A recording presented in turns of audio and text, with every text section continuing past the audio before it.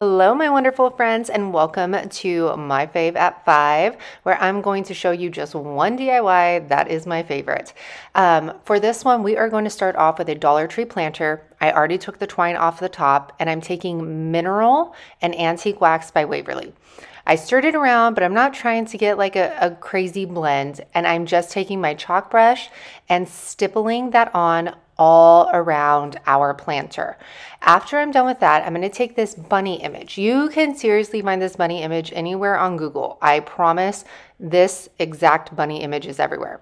I soaked it in some coffee for a little bit, and here I am using my heat gun to dry it.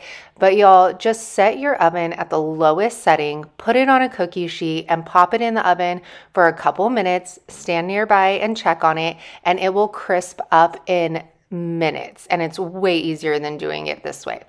After I'm done with that, I'm going to take the image and I'm just going to tear around the edges. This is just going to give me a more vintage look. I didn't like the clean and crisp lines of cutting it with the scissors. You can also use, if you have those like nifty uh, scrapbooking scissors, you know, that give the designs when they cut, you can use that as well. Then I crumble it up because, you know, that's just how I do. And taking Mod Podge, I'm going to coat the back and then we are just going to lay that on the front of the planter, but you want to make sure you get below that line because we are going to put something on the top rim. That's why I didn't paint it.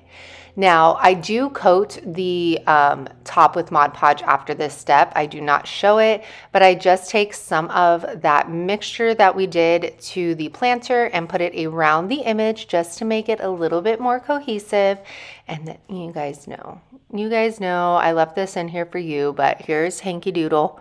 And let me know down below if your pets are in your craft room with you? Do they hang out with you?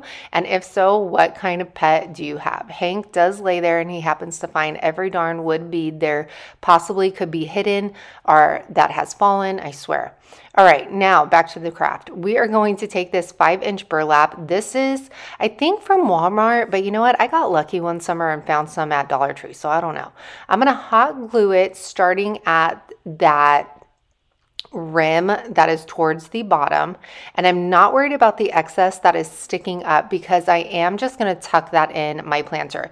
Now you can use any kind of color burlap, you could use ribbon, you could have even just left the twine on this and it would have looked good, but in my head I was going for a very specific look. So that's why I chose to go with the burlap. So I'm making sure that I pull that nice and tight so that we don't have any sagging once it's done. I'm gonna hot glue the seam right here and then I'm gonna just tuck in. This planter was for my own home decor. I wasn't selling it, so I just tucked it in and then hot glued it at the seam so it doesn't go anywhere.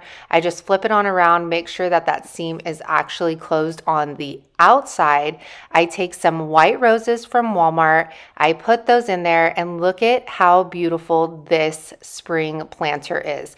This, in my eyes, is high end. I love it. The roses just top it off for me.